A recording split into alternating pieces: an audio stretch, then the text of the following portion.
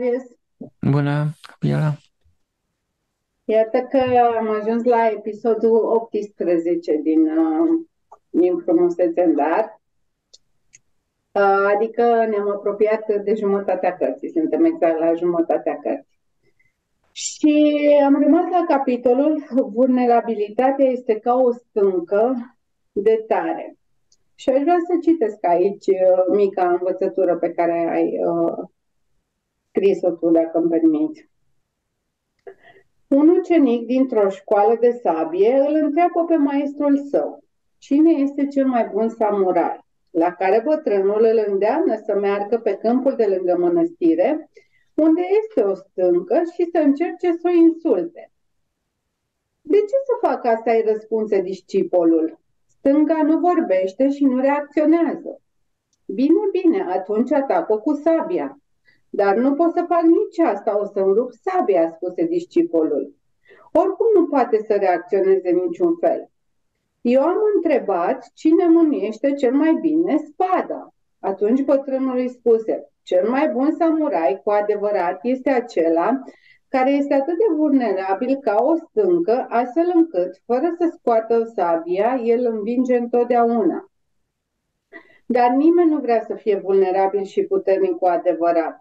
Numai cel care nu vrea să câștige, nu se luptă și nu se apără ca stânca este cel mai tare.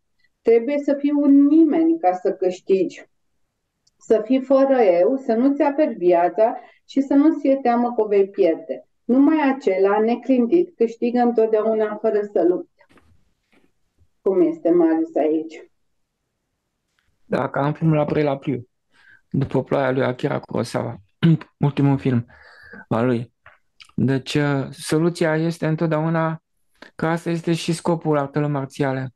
Deci, în, în artele marțiale câștigă numai cel care are pace interioară. Adică cel care nu vrea să câștige. Și în viața de zi cu zi tot așa. Cel care are o intenție și o dorință, îi se va opune, pentru că e voia mea peste voia lui.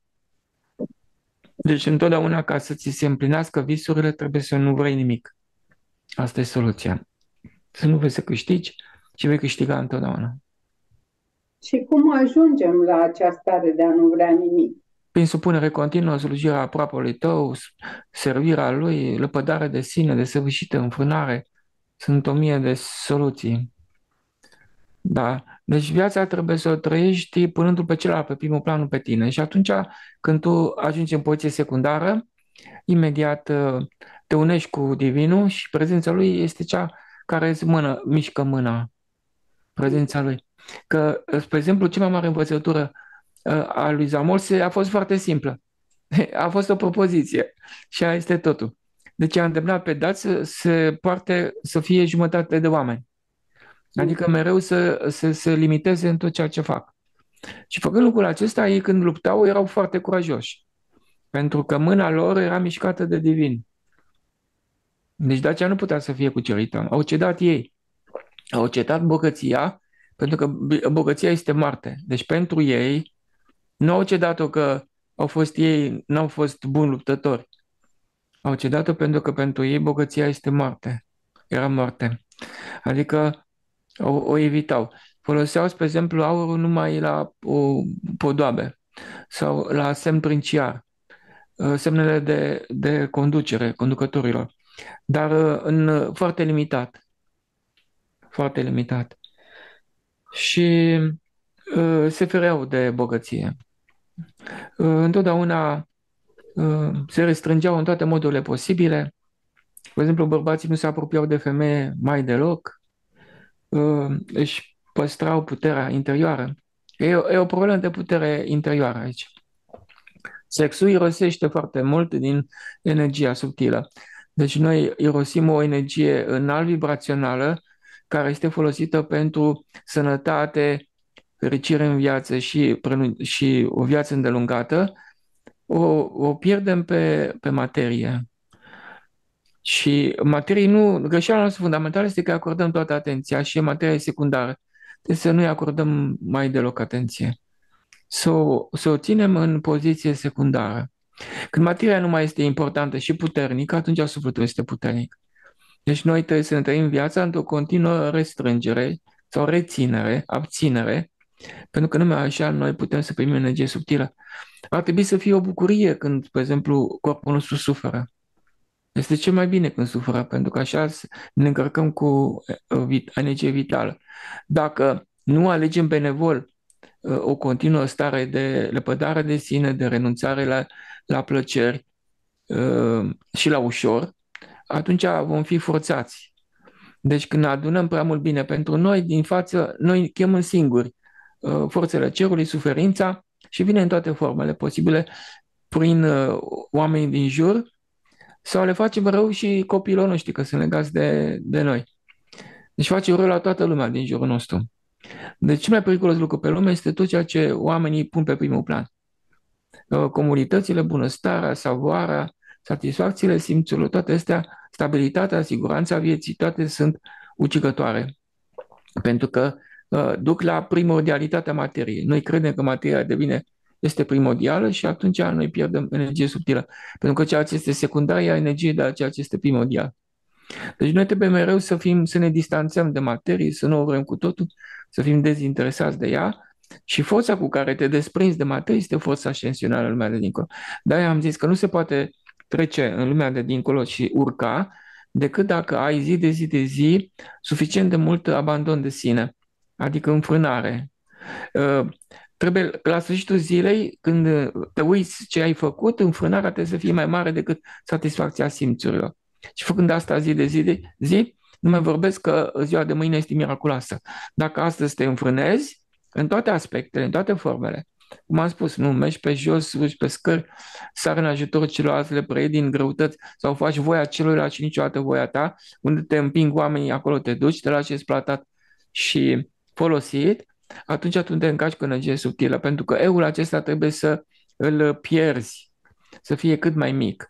Cu cât eul este mai mic, cu atât spațiul gol este mai mare în care vine divinul și prezența lui îți face viața frumoasă. Că dacă tot e vorba că omul vrea să fie fericit în viață, ăsta este secretul. Deci nu trebuie să caute fericirea acestei lumi, ci să o piardă, să nu o dorească, să se îndepărteze de a continuu. Când este bine, s-a ridicat și a plecat. Când e bine, nu e bine. Când e bine, e periculos.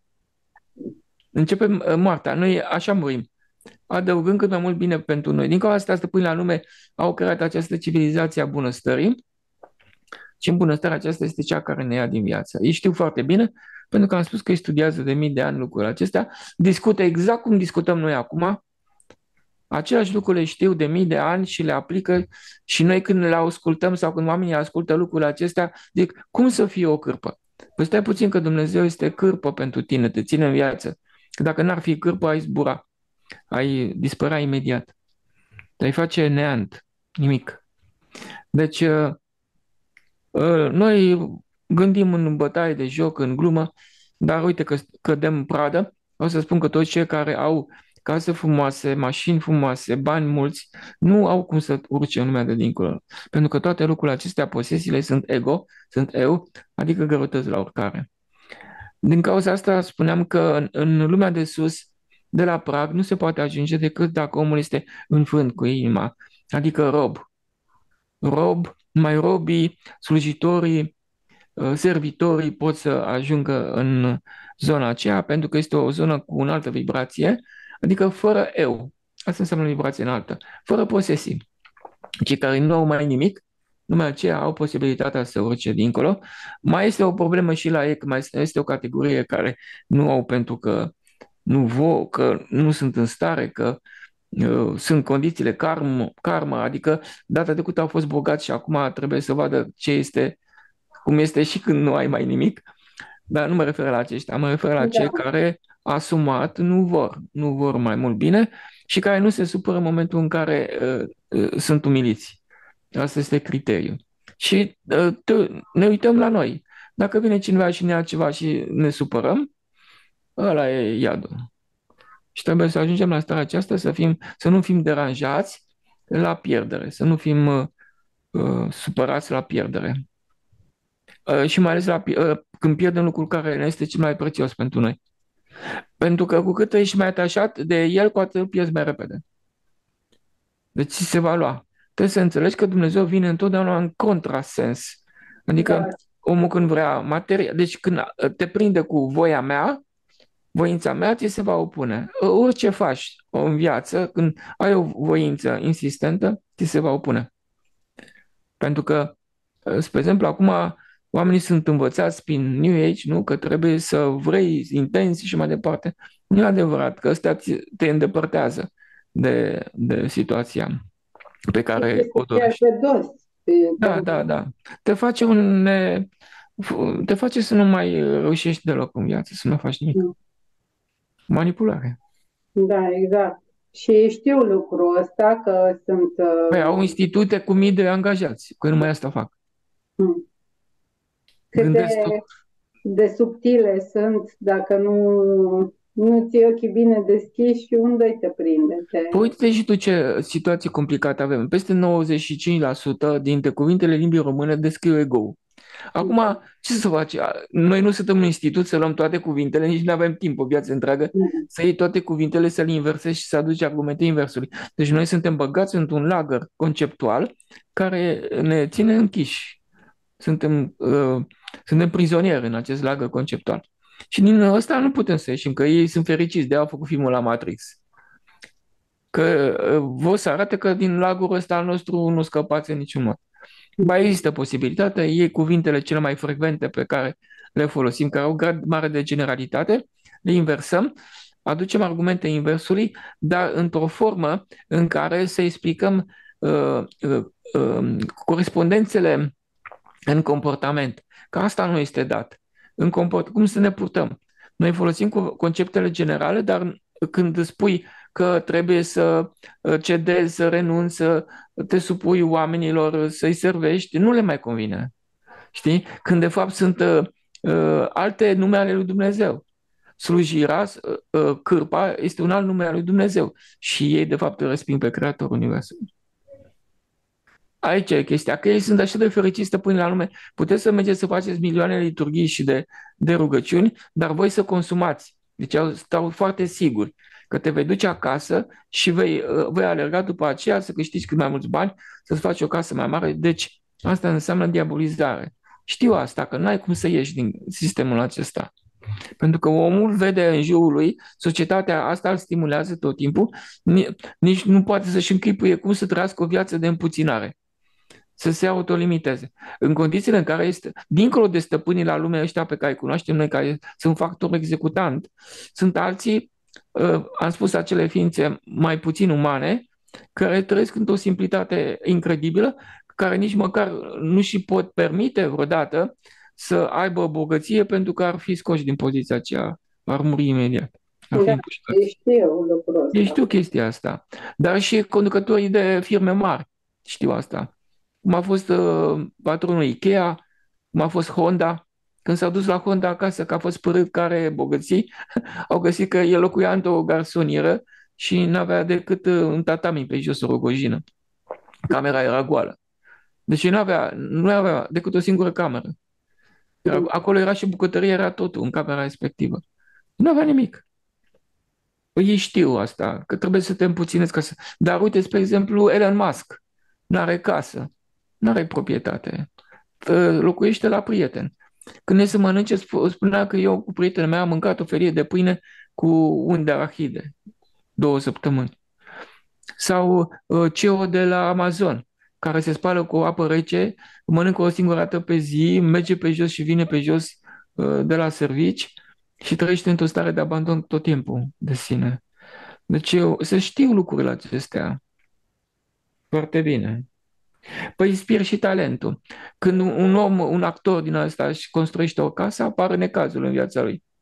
Despărțiri, nu mai este promovat, că totul ține de energie. Energia subtilă se câștigă prin înfânare, prin reținere, prin dăruire. Deci tot timpul să nu, să nu vrei ceea ce toată lumea vrea. Ai scris aici atât de frumos, trupul este doar un văl, o perdea, perdea o ascunde divinul. Cum să facem să tragem la o parte acea perdea? Nu se ridică vălul acela decât dacă te puținezi. Asta este, ă, asta este Aceștia sunt pașii. Nu se poate altfel. Și după ce te împuținezi, ți se ridică golul și vei fi inspirat, pentru că se face spațiul acela gol și în el vine divinul. Deci divinul de afară este exact ca când discutam de lumina cu întunericul. Când ai aprins lumina, pac, întunericul s-a dus. Mm. Deci asta, asta face. Când te-ai lăsat pe tine, ai făcut spațiu gol, a venit divinul și a dispărut imediat întunericul. Și atunci viața ta devine frumoasă. Deci este vorba de indirect. Fiecare își dorește o viață frumoasă. Să aibă noroc să fie bine în viața lui și familiei lui și copilului. Nu se poate atât timp cât merge spre bunăstare. Nu se poate că se închide. Se închide la univers, la Dumnezeu și atunci nu mai vine energie subtilă și fără energia aceea este o energie împlinitoare, nu mai energie. Dacă totuși nu se întâmplă asta imediat, este pentru că acel om a primit din viața trecută o cantitate suficient de mare de energie, pentru că a fost un om simplu, un om care s-a înfrânat, s-a întărit cu această energie subtilă și acum o irosește. În viața asta o irosește. Și noi zicem, ia uite că ăsta nu pățește nimic. Da. se duce spre materie, dar nu pățește nimic. Da, în momentul în care își va consuma acea energie, brusc vor cădea toate. E totul e problemă de energie. Deci da, noi ca să fim și sănătatea este și totul. Când, spre exemplu, o, o simplă gripă, când ți-a venit gripa, înseamnă că ai adunat prea mult bine pentru tine. Trebuie să faci operația inversă. Să, să închizi locurile pe unde se duce energie și de obicei energia se duce pe patim, pe ușor, pe plăcut. Și trebuie să faci inversul tot timpul ca să te încarci. Fie și faptul că mergi pe jos te încarcă cu energie sau că te speli cu apă rece pe față te încarcă cu energie. Deci lucru de nimic. Că mănânci puțin, mănânci semințe și legume. Și, și asta te încarcă, te încarcă cu energie. Că te îmbraci simplu, că nu te, nu te pictezi pe față, la, mă refer la femei. Da. Nu? Deci orice acțiune din acesta care este inversă direcției în care merge toată lumea, este încărc, te încarcă cu energie subtilă. Și din energia aceea se fac situațiile favorabile. Noi e plânge degeaba că nu avem noroc în viață, că n-ai unde, că dacă n-ai loc, n-are loc unde să vină divinul, nu, nu, poți, nu te poate însoți și nu te poate ajuta. Dar dacă trăiești o viață de abandon de sine continuu, atunci el te va însoți și uh, vei fi inspirat în tot ceea ce... Nu știe ce să facă ca să-ți fie ție mai bine. Și dădeam exemplu cu Raul. Raul s-a dus la nu știu câte examene, la două am impresia, s-a dus fără să învețe absolut nimic. Nu știu dacă a avut să facă experiență dar el o lună de zile se ducea în centrul orașului ca să-l vadă toată lumea și strângea gunoaie. Că e foarte important să te vadă toată lumea ca să te jignească. Deci dacă tu faci față la, la uh, jignirea oamenilor și faptul că râd de tine și mai departe și pe tine nu te deranjează, atunci tu te îngași cu energie vitală. Și când s-a dus la examene, n-a știut nimic, bineînțeles, și profesoara a rugat pe o, o fată, pe o colegă de-a lui să-i dicteze, să-i spună, să-i scrie ceva. Deci Dumnezeu nu te lasă. Da. Poți să fii, poți să fii și tot, și tot... Eu am experimentat asta și la examenul de liceu și la bacalaureat, exact același lucru. Și eram un copil, n-am făcut nimic, absolut nimic. Și acum chiar râdeam cu, cu Alina, că îi spuneam că pe 20 ceva ianuarie am un examen foarte important și ce Alina zice, lasă, îți iei o rochie cu care mergi la operă, și te duci la strâns de gunoi și așa și zice, nu mai, nu mai trebuie să vezi nimic, să vezi cum, să vezi cum e, cum e examenul. Da, sunt sigură că, că voi fi susținută, că de fiecare dată am fost susținută, că am avut, am avut credință. Aici, la acest capitol, este o întrebare. Cum poți înlătura emoțiile negative? Emoțiile negative vin din atașare. În momentul în care te supui și servești pe oameni și îi slujești, nemai având eu, nu mai are cine să aibă emoții negative. Deci eu este cel care are o gândire critică și acuzatoare și deci are frică, teamă, emoții negative. Deci fără, fără eu nu există așa ceva. Deci tot timpul te, cum apare emoția negativă sau frica sau teama, înseamnă că am prea multă da. bunăstare, prea mult bine pentru mine. Și atunci trebuie să renunț la el. Să cauți greul, să nu, să nu mai cauți ușor. Și, de, și rapid, în două, trei zile, imediat te restabilești. Până și depresia, depresia, anxietatea, nemulțumire, tristețea, toate dispar automat prin muncă, prin sacrificiu de sine pentru ceilalți. Era pe timpul Ceausescu și mereu dau exemplu acesta cu un film se numea Linia Maritimă Onedin. Și acolo capitanul uh, suporta de fiecare dată, fiecare an, câte o răzberiță, câte o răscoală pe vasul lui. Și vine sub capitanul, nu știu cum se numește în limbajul lor, și îi spune, echipajul vrea să facă răscoală. Și uh, capitanul zice, păi au mai făcut anul trecut. Zice, da, acum vor să facă din nou. Păi atunci pune să spele, să spele uh, tot vasul. Păi l-am mai spălat o dată. Nu nimic să-l mai spele o dată. deci munca este cea da. care scoate gărgăunii din cap. Exact. Când ai mai mult decât ei, începe întinerirea și învierea. Păi asta este o rețetă a nemuririi, Marius, ce ai spus tu aici. Da. Nu? În da. câteva... Fiecare propoziție de acolo e importantă. Da. Pentru că nu a venit de la mine. Ți-am spus că doar am strâns, sunt un prinzător de fluturi. Le prind și le pun pe... Acum am vreo 16.000 de pagini, nu am timp să le mă uit pe ele ce, ce conțin. Lucruri noi. Deci sunt primite, primite de sus. Poate este greu de crezut sau de înțeles, dar așa sunt ele. Ele nu sunt ca un roman, nu se pot citi ca un roman, da. nu am folosit mintea, n-am făcut o schiță, sunt, sunt așa cum au venit, așa le-am pus. De multe ori ele se repetă, dar se repetă din unghiuri diferite, pentru că există o rezistență la nivelul cititorului. Exact. Și probabil că cei de sus au văzut rezistența aceea și simțeau nevoia să uh, spună acele lucruri în alt, în alt mod. Păi da, nu pentru că am scris o carte. Deși este de foarte multe ori poate sunt aceleași lucruri spuse într-un mod diferit, aduc alte conștientizări și ating alte, da. alte colțuri, să spunem. Deci cum e Magius? Când ai mai mult decât ei, începe întinerirea și învierea. Ce legătură are asta cu învierea? încaci cu energia subtilă. Deci, uh, energia materiei, deci când noi acordăm toată atenția lumii acesteia și facem totul pentru ea, ea mănâncă din noi, ne ia din viață. De, deci noi pierdem energia aceea vitală, uh, care este infinit mai prețioasă decât uh, energia materială, care este joasă. Și din energia aceea uh, înalt vibrațională se fac situațiile de mâine uh, favorabile, sănătatea și viitorul. Deci în momentul în care noi cedăm materie, adică binele corpului nostru, avantajele noastre le cedăm, noi câștigăm de fapt durată de viață și sănătate și fericire. Deci noi suntem interesați ca să trăim viața Uh, nu adăugând cât, nu adăugând cât mai mult bine la corpul nostru, ci invers, ne adăugând nimic. Adică să căutăm pierderea, nu câștigul. Adică împuținarea continuă, cât se poate de mult, dar nu mai mult decât uh, uh, avem nevoie. Pentru că trebuie păstrată uh, o anumită limită.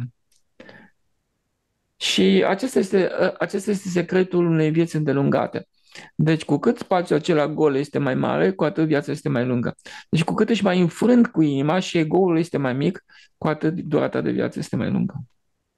Marius, de ce această goană când sunt aceste, aceste sărbători, când e Paștele, când e Crăciunul, toată lumea parcă zici că o ia așa pe, pe cărări, ca să ia mâncare, ca să ia nu știu ce, ca să ia de ce toate acestea? A fost programat să facă chestia asta, iar bucuria trupului pentru ei este bucuria cea mai mare.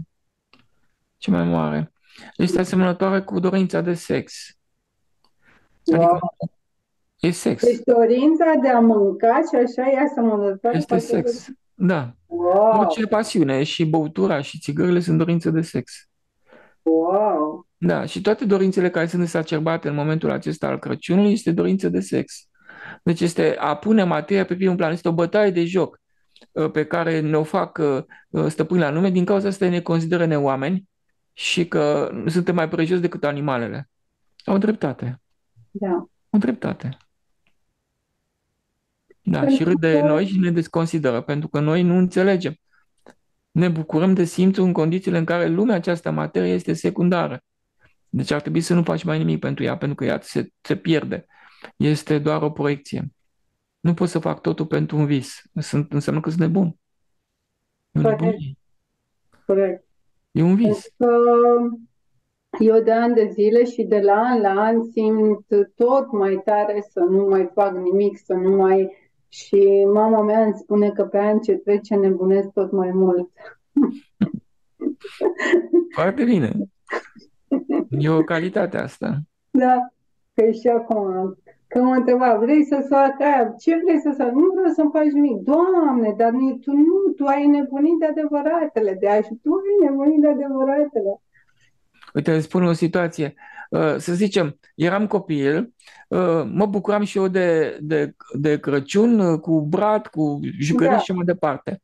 Deci era o, o bucurie acolo. Da, Dar în momentul în care am ieșit din corp și m-a ajuns dincolo de fluviu de gânduri, din lumea aceea când mi-am amintit că eram un copil care picta pe balcon, mi-am zis, iar mă duc în visul ăla. Deci visul în Da. care intram era cu Crăciun, cu brad, cu jucării, dar era vis.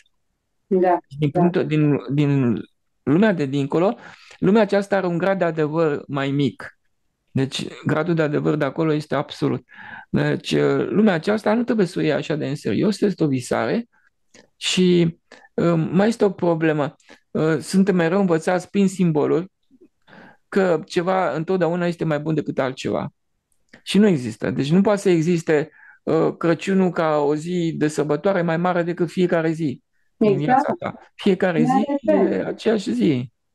Da. Da, nu Sau poți de să o... ce, de ce trebuie să ne întoarcem uh, spre Dumnezeu, să zicem așa, zisa întoarcere spre Dumnezeu doar de Crăciun și de Paște, când Dumnezeu te respiră în fiecare secundă, nu? Exact. Ne bagă uh, modelul acesta al separării. În momentul ăla, când noi zicem că ceva e mai bun decât altceva, pac, ne-am separat.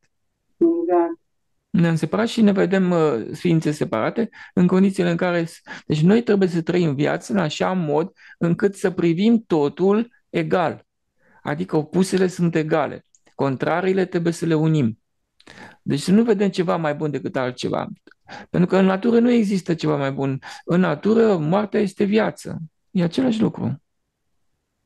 Deci să știi că de când uh, uh, ai explicat așa și am început să integrez chestia asta cu visarea, că nu fac decât să fiu într-un vis și să fiu visată și un scenariu, a apărut așa o, o Liniște. liniște și nu mai mai iau așa în serios nici viața, nici o las Mulți pe oameni mamă, sunt așa, da. da, o las să zică, să zică ea ce vrea ea, că sunt nebună, că nu vreau să armare, că nu vreau să arată de bău, E și ce dacă.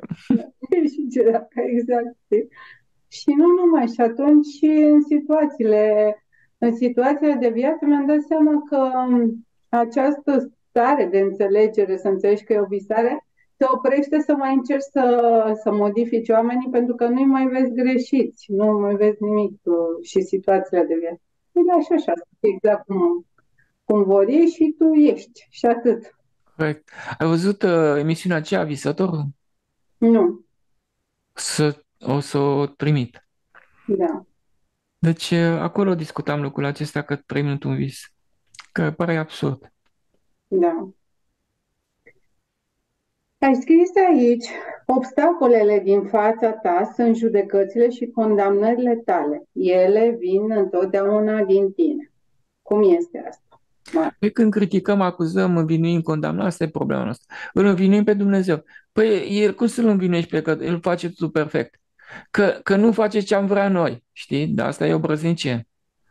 Asta înseamnă diabolizare. Ne facem Dumnezeu nostru și zicem că noi avem dreptate. Dumnezeu nu are dreptate. Și atunci, pac, ne lovește din față.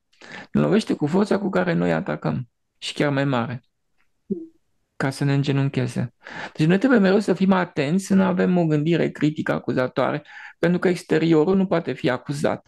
Toți oamenii iau doar rolul și vin uh, uh, împotriva noastră corector. Ei nu sunt de vină niciodată. Mai mult, ei se sacrifică pentru noi. Pe Exact. exemplu, un bărbat uh, se sacrifică pentru femeie, devine bețiv sau se îmbolnăvește și moare ca să-i salveze ei viața și copiilor. Deci îți dai seama ce lucrare mare face bărbatul acela. Deci el se sacrifică pe sine, moare ca să salveze viața copiilor. Da. Înțelegi? Ai scris aici că oamenii nu sunt de vină cu nimic niciodată. Întotdeauna ne vine înapoi amplificat ceea ce suntem noi în adâncul nostru. Acela ce te atacă, te atacă pentru că tu nu ai destul acceptare, energie și iubire și nu ai dăruit destul. Dai eu și e iubire sfântă, energie vitală. Nouă ne lipsește faza de repararea sufletului. Cum adică nu aveți de repararea sufletului? Păi în momentul în care tu renunți la tine, la bine, la avantajele tale, la dreptatea ta, adevărul tău, ă, în spațiu gol vine divinul și începe repararea. Repararea structurilor fine ale câmpurilor. Deci nu ne lipsește acest moment, pentru că întotdeauna considerăm viața ca o continuă adăugare de satisfacții și noi mereu adăugăm bine. Spre exemplu, ă, ai ieșit pe stradă, vrei să iei mașina, adică cauți un bine. Ai trecut pe lângă ă, un creștinit, vrei creștinitul, adică cauți un bine. Ă, ajungi la serviciu, fugi de muncă, te ascunzi. Deci cauți mereu un bine pentru tine. Deci viața, dar aici, în momentul în care cauți mai mult bine, ziua următoare este, va fi rea. Pentru că n-ai energie, tu trebuie să golești ego-ul ăsta, să-l scazi cât de mult se poate și ziua de mâine va fi minunată. Noi nu știm lucrul acesta. Deci trebuie să punem reținerea, reținerea, restrângerea de sine să fie mai mare întotdeauna decât satisfacția simțurilor. Și atunci vom reuși. Plus că la sfârșitul vieții, dacă te prinde fără reținere, Adică zi de zi de zi nu avem forță ascensională. Pentru că forța ascensională se, se obține numai prin înfrânare. Adică când nu-ți faci voia, când nu-ți faci plăcerile. Da. Și uh, întotdeauna când tu nu-ți faci voia, Dumnezeu îți dă tot ceea ce crezi, uh, ai nevoie în dar, fără străduință. Și numai acel lucru rămâne. Păi pe tine te interesează să rămână. Corect. Da. Nu? Și îl și vezi ca pe o grație, că îl Sigur. ca pe un miracol. Dacă este, este obținut prin ego cu forță, adică forțezi tu Se pentru disipă, că vreau da. eu, lucrul acesta, ele nu rămân. Pentru că nefiind divinul acolo, ele, ele vor fi distruse. Deci tot ceea ce noi obținem prin străduință proprie a ego-ului nostru, vom pierde totul se pierde. Asta se întâmplă și în relațiile cu oameni. Când da, încerci da. să forțezi uh, relații, să modifici, să așa, ei pleacă întotdeauna și când nu mai faci nimic, e bine. Uite, să zicem, un om bogat, un om bogat, uh, am fost pe coasta Amalfi, în uh, Italia. Și ne spunea ghid, uite, acolo insula nu știu care și insula nu știu care, acolo sunt niște vile extraordinar de frumoase ale oamenilor bogați. Și spunea, păi vila asta a costat uh, inițial, nu știu, 100 de milioane de dolari, să zicem. Acum nu reușește să, să o vândă cu 10. Hmm. Nu reușește să o vândă. De ce? Pentru că acolo este un ego.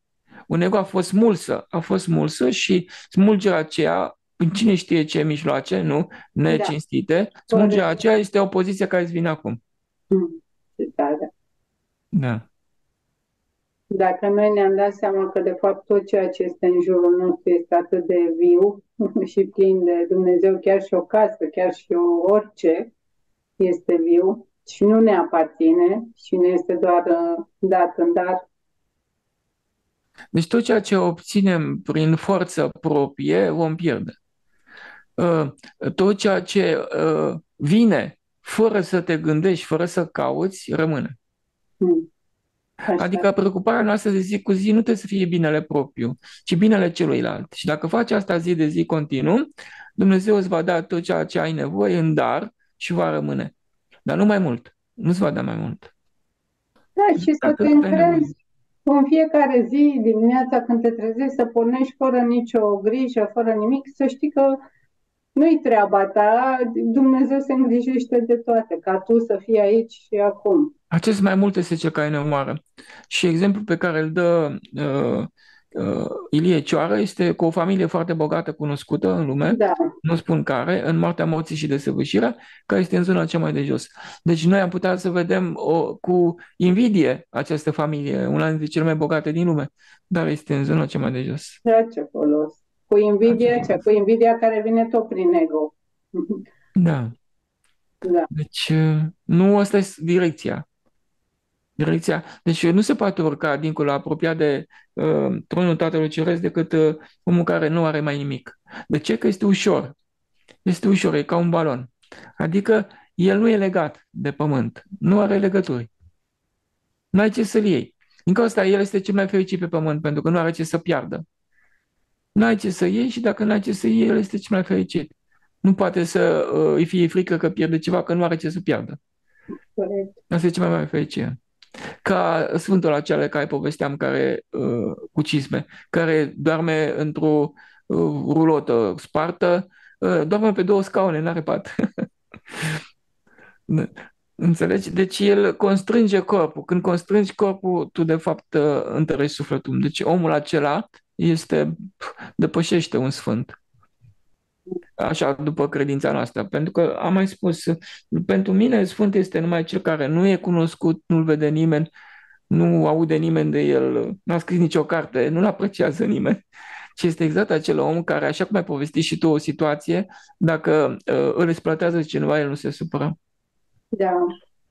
Și să ne știuți și susțin și ai văzut cum am și spus, ei sunt puși în, în puncte din acestea, mi-am dat seama, în puncte din acestea focate în diferite orașe, orașe, cred că tocmai pentru a susține vibrația, pentru că sunt puse în mediile de frecvență cea mai josă.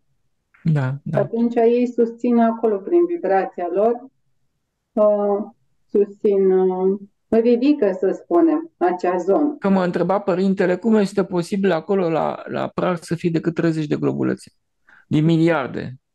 Păi din cauza asta. Sunt foarte puțini oameni care trăiesc în modul acesta. Sunt ăia desconsiderați de toată lumea. Râdem de ei tot timpul și zicem că miros urât. Și n-au dinți în gură. Și sunt uh, insuportabil, ne, de neprivit. Oamenii aceia sunt foarte înalți. Și când te uiți în ochii lor, vezi cea mai, cea mai frumoasă lumină și cel mai frumos zâmbet al lui Dumnezeu. Da, și visează tot timpul numai cu Dumnezeu și Dumnezeu le zice, când plecați de aici, când pleci de aici, vii la mine. Și el a, a zis, voi nu știu ce să faceți. Da, și au acea acea pace, adică, uite, de exemplu, mi-aduc pe aminte pe femeia aceea astăzi, cu care am fost în comuniune atâția ani de zile, mai văd când și când, când mă duc uh, la grădiniță, pe întâmplarea pace că trec tot pe acolo mereu și văd, cred că o dată pe lună tot mă întâlnesc pe ea. Și are aceea seninătate, deși ea e pe străzi tot timpul și așa, aceea seninătate și aceeași pace și de câte ori mă întâlnesc cu ea, ea îmi vorbește numai despre Dumnezeu. Cum își începe ea ziua cu Dumnezeu, cum face, cum... Nu. Foarte, foarte frumos. Ai scris aici o situație în care de multe ori ne aflăm noi oamenii. Te plângi degeaba că lumea este rea, dar oare la răutatea ei nu ai contribuit și tu? Cum face Mariu să înțelegem că de fapt noi creăm asta? Chiar mă gândeam uh, acum la lucrul acesta uh, că sunt uh, multe femei, dacă nu majoritatea, care nu pot să accepte că dacă s-ar supune bărbatului, ar fi secundare, ar intra armonia în casa lor sau să-l vadă pe bărbatul lor ca și Dumnezeu. În sensul că dacă intră bărbatul lor pe ușă, a intrat Dumnezeu în casă. Deci nu pot să gândească acest lucru. Vreau să spun că Ehm, suferința din lume care este acum este generată de această respingere a iubirii. Adică ă, depinde în mare parte de femeie. Apocalipsa asta care a pornit depinde de femeie. Adică uragane, inundații, cutremure, toate depind de femeie, adică de modul în care ea privește pe bărbat. Ă, dacă îi dă prioritate sau nu îi dă prioritate. Și de aici pornește totul. Asta este. Deci e o problemă de iubire, că dacă ea și-ar iubi bărbatul, atunci bărbatul n-ar putea să gândească lucruri din acestea um, agresive. N-ar putea să gândească așa. Deci el nu este iubit, nu este apreciat, nu este susținut. Este, um, este desconsiderat. Diavol ca diavol, dar ce facem fără el? Noi privim doar la momentele de scădere a egoului, dar repede vine durerea și apoi omul se liniștește. Da, fără diavolul ăsta este tot uh, divinul pe o vibrație joasă. Nu este nimic în lumea aceasta care să nu fie el. Această înțelegere este unificatoare. De ce este adevărată? Pentru că nu conține judecată. Judecata este o sentință, o acuzație la adresa Creatorului Universului. Uh, explicația care blochează judecata este adevărul. și aceste explicații blochează adev- uh, judecata și din cauza asta sunt adevărate. Pentru că, așa cum ai spus tu, îți dă o senzație, un sentiment de liniște, nu? De eliberare. Da. Nu mai vezi rău în lume, niciunde. Și răul acela este tot divinul care vine în forma aceea ca să ne corecteze pe noi, ne scade ego-ul, dar ne salvează viața. Și această înțelegere este liberatoare, într-adevăr. Iluminarea de care zic uh, Exact. Exact. Că de fapt eliberarea este de judecată. Eliberarea este de gândirea critică, de acuzație, învinuire, de dorința asta nebună de a corecta pe celălalt, de a, a-l contrazice. Și e asta foarte este important să, să facem diferența da, între starea de neutralitate și starea de nepăsare, de indiferență. Starea de neutralitate e acea stare de echilibru, de pace, de acceptare, fără să te duci în nici, nici în Atunci ești în divin. Da. Iar starea de indiferență uh, e tot un ego ascuns acolo. Gata, eu m-am detașat, nu mai îmi pasă de nimic. Cine? Cui nu mai pe Tot ego, că sufletul nu are niciun comentariu, nu are nicio chestie. Uh, trebuie să înțelegem că atunci când contrazicem pe cineva, uh, de fapt, uh, diavolul a intrat în funcțiune. Dar uh, și lucrul ăsta poate fi acceptat și înțeles că este tot divinul pe o vibrație joasă. Da. Și că dacă ești tolerant și înțelegător la infinit și în situația aceasta, nu te mai afectează nimic. Că problema este că neplăcerile din față sau necazurile vin pe critica noastră, pe acuzația noastră, pe nemulțumirile noastre. Dacă nu mai ai nemulțumiri, îndoieli, uh, nu mai ataci exteriorul și pe oameni, atunci nimic nu mai poate veni, veni spre tine. Asta este situația. Secretul întineririi este înfrânarea și retragerea, pentru că astfel se transformă ego-ul în energie subtilă care întreține viața. Fă ce faci și argumentează mereu iubirea, pentru că ești ființă sublimă care nu se apără niciodată, aceeași în toți. Cum adică, Marius, să argumentăm mereu iubirea? Pot da, pentru că asta ne lipsește nouă, ne lipsește, uh, ne lipsesc argumentele. De ce să acționăm Uh, în modul acesta al iubirii. Uh, iubirea face un lucru care noi nu putem să-l suportăm. Din cauza asta oamenii uh, refuză să iubească. Vorbim noi, cântăm iubirea în cântece și în poezii, dar nu, practic nu acceptăm. Pentru că iubirea înseamnă să dai libertate totală, să faci voia celuilalt, nu voia ta, să te lași folosit și exploatat, fără să reacționezi. Deci exact ce nu ne place nouă, aceea este iubirea. Și uh, ego-ul este foarte bine motivat, are motivații cu carul, dar iubirea nu are motivații, nu, nu este argumentată. Și trebuie să înțelegem, să căutăm acele explicații care să o motiveze. Și atunci ne putem cupla pe, pe iubire. Omul, ego-ul ăsta trebuie convins Uh, și trebuie să se arate uh, care este calea corectă. Este exact ca în uh, um, Neguțătorul din Veneția, lui Shakespeare. Acolo este diavolul și nu e diavolul, care pledează pentru un om. Și unul spune care calitățile, diavolul spune greșelile, știi? Dar ambii, ambii ai sentimentul că au dreptate, știi?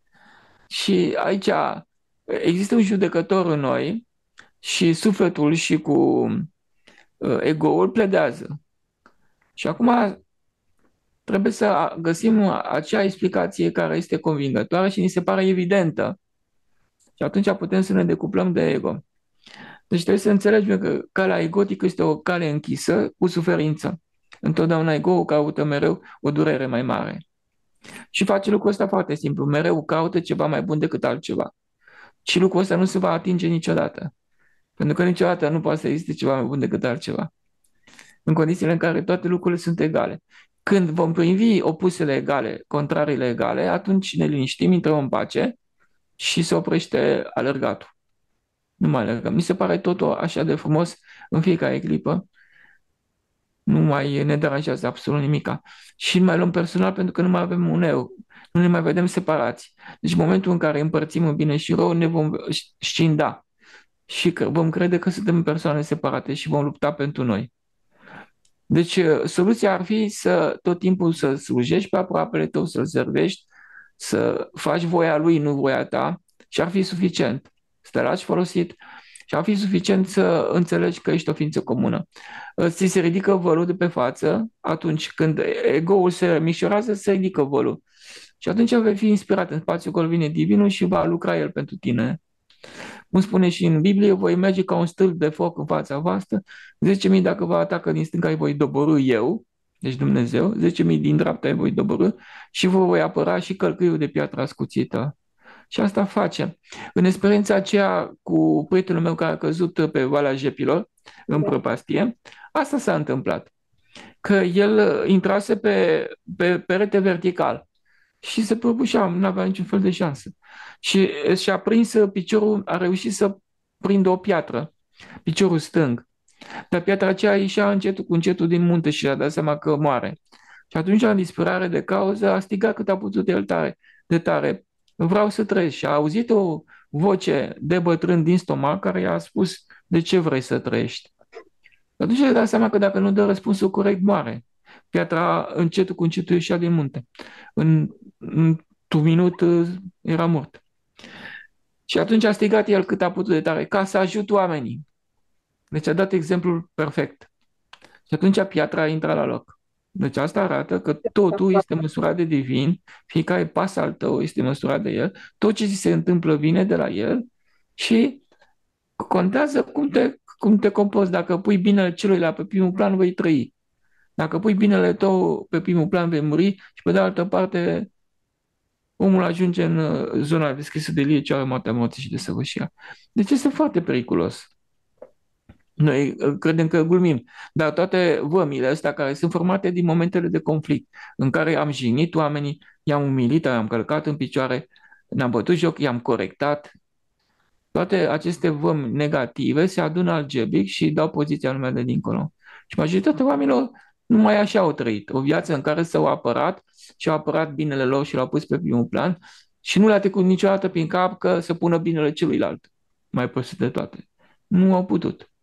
Și asta înseamnă că nu poți să urce. Că uh, omul, uh, sufletul urcă în momentul în care uh, momentele de cedare sunt mai, mai multe decât momentele în care a luptat pentru sine, s-a apărat. Și cum toată, tot timpul. Deci de dimineața până seara omul își caută un bine. Va trebui de dimineața până seara să nu-și caute un bine. Înțelegi? Ca să poată să se încarce cu energii subtile și să urce. Invers. Dar ei sunt așa de prinși de lumea această materie aceasta în care, că din cauza asta, primul lucru pe care l-au făcut stăpâna în lume a fost să ne pună văl pe față. Și l-au pus foarte simplu, uh, creând o civilizație a bunăstării. Și când au creat civilizația bun, bunăstării, ne-au lipit și acum noi o considerăm normală. Și nu mai putem să renunțăm la nivelul la care am ajuns. Și considerăm când uh, pierdem, acum considerăm că e, apare frica de a pierde, frica de a muri. Că de aceea omul are frică. Deci întotdeauna are frică numai cel care este așa de materie. Cel care nu are mai nimic nu este fricos. Nu are ce să piardă. Nu ai ce să iei.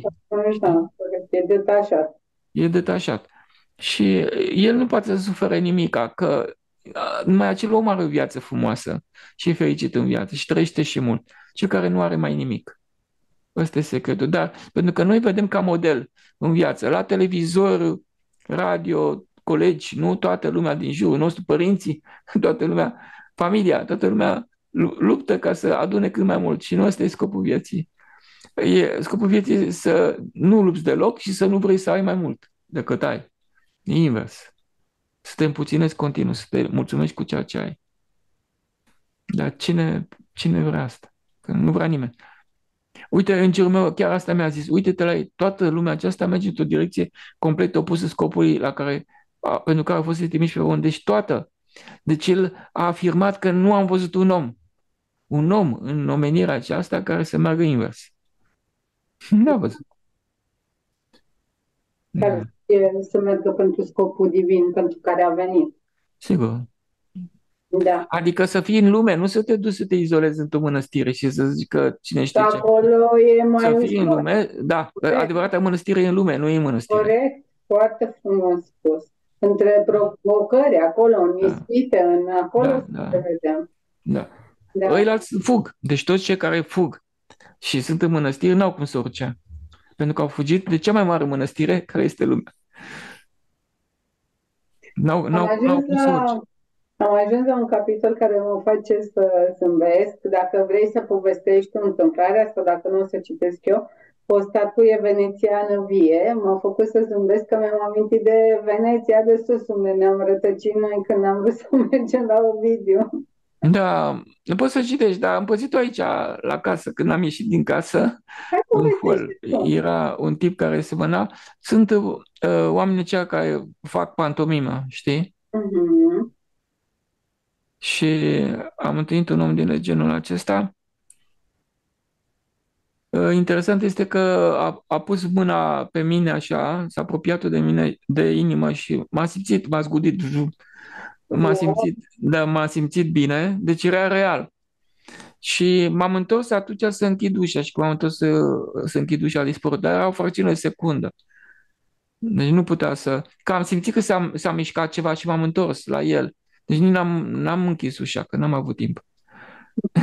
Dar a dispărut imediat. Și am făcut așa cu mâna și nu mai era. Poți să citesc cum ai descris aici? Da.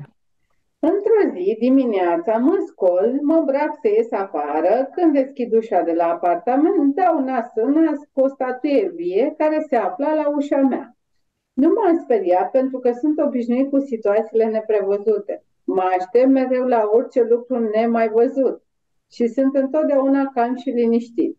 Acest om care stătea nemișcat avea fața dată cu un praf alb și purta un costum medieval venețian ca un fel de pieptar. O eșarfă roșie pusă obli pe piept și cu un basc verde pe cap cu o stemă într-o parte.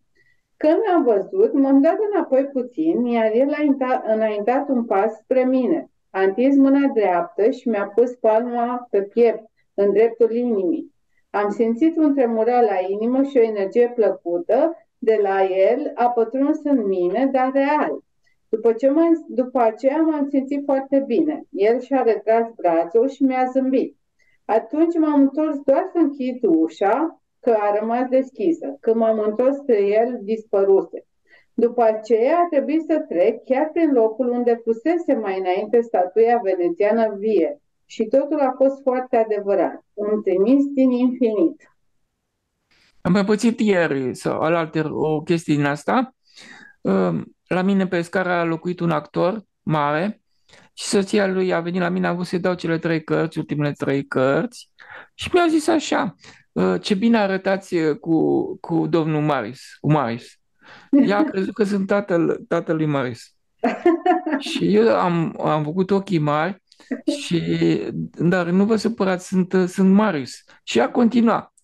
Dar, într-adevăr, ce bine arătați cu Marius. Și mă gândesc că, că am greșit, că trebuia să mă duc repede la oglindă. Da. Să văd dacă, într-adevăr, e altcineva în locul meu acolo. Că se Da, pot sau întâmpla poate, chestiile astea. sau poate că ea mai vedea pe cineva cu tine, nu? De spunea ce bine arătați cu mari. Sau în locul meu a văzut pe altcineva, da, cine știe. Da.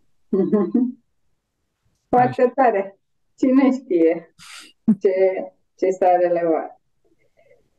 Da, și aici uh, uh, explici ce ai simțit după ce ai avut această experiență. Am avut iarăși acel sentiment ciudat, că realitatea oricând se poate comporta miraculos ca într-o poveste dacă ne retragem atenția de pe ea și nu lucrăm tot timpul numai pentru ea.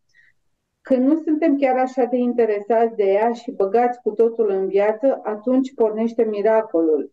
Când nu facem tot timpul lucruri cu sens și scop, spre exemplu, să stăm câteva ore și să nu facem nimic, doar să privim, să zicem, mergem în parc, ne așezăm pe o bancă și admirăm cum viața curge prin fața noastră, fără să ne gândim la trecut sau viitor. Lucrurile fără scop și raționale trebuie să fie mai multe decât cele cu sens, bine calculate și perfect ordonate și organizate. Cum e asta, Marius? Asta este un fel de contemplare, ce spui tu? să puci. Mereu trebuie să dai semn că materia nu este esențială. Dar mereu, mereu la tot pasul. Uh, inclusiv, spre exemplu, că poți să îmbraci uh, lucrurile pe dos, mai ales cele de desubt. Deci să trebuie să le iei pe dos. Deci că iei ciorapii pe jos, că iei pe dos, că iei uh, mai eu pe, pe dos.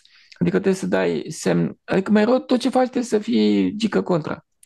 Să fii împotriva tot ceea ce este clar. Și oamenii sunt obișnuiți. Pui jumătate de farfurie de mâncare, mănânci jumătate, oamenii se spală cu apă caldă, tu te speli cu apă rece pe față, oamenii merg cu mașina, tu mergi pe jos, deci faci invers, tot timpul pe dos. Că tu te încași cu energie numai când te opui binului propriu. Deci trebuie să nu te prindă cu o zi în care ți-ai urmărit, uh, deci la sfârșitul zilei, dacă te uiți cum a fost ziua, să nu fie, fie o zi în care ți-ai urmărit binele, că atunci ziua următoare va fi nefastă. De fapt, acest pedos, de fapt, acesta este naturalul ființei noastre, nu? Este modalitatea de încărcare cu energie subtilă. Așa, așa este natura noastră, așa ar fi natura noastră să ne comportăm, doar că noi am uitat de ea. Da, noi folosim anumite concepte tipare ale societății, dar nu sunt cele care sunt naturale. Nu, nu reprezintă natura noastră. Noi, noi, în natura noastră, nu suntem perfecți. Noi, în natura noastră, nu suntem uh, organizați. Uh, noi, în natura noastră, suntem dezorganizați, suntem neatenți, nu căutăm perfecțiunea. Uh, trebuie să învățăm să acceptăm și murdăria, pentru că perfecțiunea înseamnă eu pe primul plan și înseamnă orgoliu. Deci noi putem să creștem orgoliul ăsta din dorința exagerată de a păstra curățenie în casă, fără praf, ordine. Deci noi nu avem nevoie de ordine, noi avem nevoie de, de o dezordine mai mare. Noi nu avem nevoie de siguranță a vieții, ci de o nesiguranță mai mare. Chiar Rumi spune, dacă ai citit, Rumi zicea așa, vorbind în locul lui Dumnezeu, deci punând lucrurile astea în gura lui Dumnezeu, că eu nu voi accepta la ușa mea decât pe cel care uh, uh, nu a căutat niciodată în viața lui siguranța vieții. Deci ne-a zis clar. Deci nu va accepta pe cel care caută ordinea, pentru că omul acela are orgoliu. Deci nu poate să urce. Deci noi putem să cădem în, în mii de feluri, în toate modurile posibile. Că, spre exemplu, zicem, eu țin post, eu mănânc puțin, eu merg pe jos, uh, uh, nu, nu mănânc lucrurile care îmi plac, sar în ajutor celorlalți, mă las folosit, da, dar rămâi cu una. Să zicem, mie îmi place curățenia sau îmi place ordinea. Da. Ei bine, acolo ai căzut. Mm-hmm. Mă gândeam la mama mea că și de asta s-a legat. Îmi zicea, ce doamne, dar înainte era așa de carnică, făceai curat toată ziua, toată ziua ștergeai geamurile și așa, nu știu ce s-a întâmplat cu tine. În ultima vreme nici curățenie nu mai faci, nu mai ai chef de nimic. da, deci... da, am fost dată la un uh, pictor. Deci uh, am făcut și școală de artă. Și m-a, m-a dus la atelierul lui, să văd atelierul. N-am văzut în viața mea așa ceva. Avea o masă de desen din aia uriașă, foarte mare, și pe ea era un morman de lucruri care aveau cam un metru jumate înălțime lucrurile. Și erau așa ca o piramidă. Deci erau milioane de lucruri acolo și deasupra lor trona o caschetă germană de aia de război. Și m-am uitat la ea și am zis, dacă vreți dumneavoastră să găsiți un lucru aici, ce faceți? Că eu am încercat să dau și lucrurile la o parte, dar erau atât de infinite. Păi le știți? Pe unde le-a spus? Zice, da, știu pe toate. nu cred. Era nu cred. ordinea lui, da. N-am văzut, da. deci pe timpul acela nu erau aparate de fotografie, uh, cu să, da. telefoane ca să poți să fotografiezi, dar merita. Aia era genial.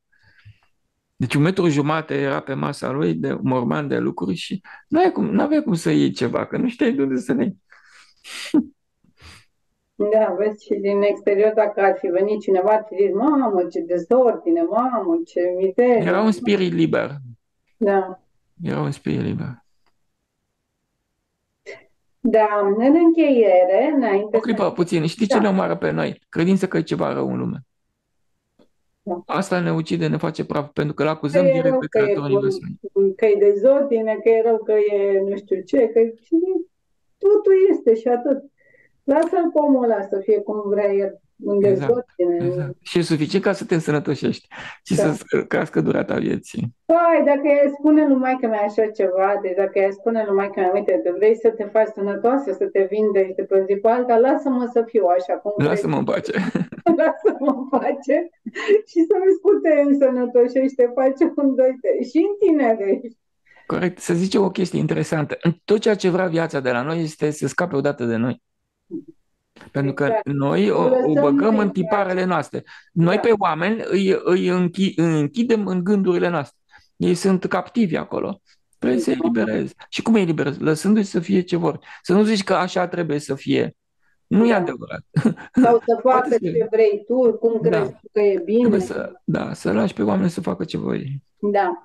Mai este o povestioare aici pe care ai povestit-o la capitolul cu, cu statuia venețiană, dacă îmi permis să o citesc. Îmi amintesc de o altă întâmplare asemănătoare pe care am avut-o cu mult timp în urmă. De o săptămână aveam o apăsare pe suflet, un fel de durere care mă însoțea oriunde. Nu eram împăcat cu mine. Și într-o seară apare în mijlocul camerei mele un bărbat îmbrăcat în negru, în aer, înclinat puțin spre mine. M-a prins în mijlocul camerei, nu atingea podeaua.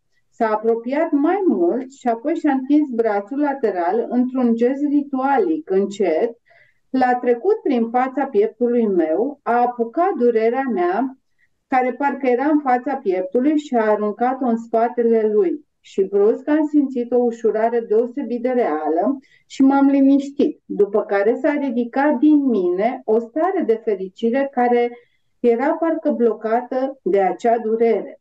Nu putea să se elibereze. Apoi omul acela a dispărut treptat. Imaginea lui se stingea cu încetul până când s-a făcut nevăzut. Am fost uimit, dar mi-a făcut un mare bine. Mereu ne privește cineva din infinit și uneori poate ne ajută. Corect. Așa am pățit cu domnul Simionescu, că după ce a murit, în interiorul celor 40 de zile a apărut în cameră la mine, nu s-a uitat la mine și bine a făcut, că m-a și speriat. A avut putere să miște lucrurile, că a început să se le împacheteze și mi-a zis, iubire, credeai că nu o să ne mai vedem? Vreau să spun că ai avut dreptate. Este foarte frumos aici. Ce frumos! El nu credea când povesteam despre lumea de dincolo. Da. Și acum s-a întors să spună că, uite, chiar așa e. Cum. Da. Iubire, credeai că nu o să ne mai vedem? Ce frumos! Mulțumesc, dragă Marius! Ne revedem în curând la ora 19 cu grupul Oglinzile Iubirii și Da. să vedem ce, ce discuții mai ies și Și cu... începem o nouă carte, Ilie Ceară. Da, o Noaptea să moții și desăvârșirea. încep. Exact. Aia e Bine. superbă. Acolo e. Mulțumesc, Da. Mar! Ne Numai bine, vedem. zi frumoasă! Zi frumoasă și ție, pa, pa!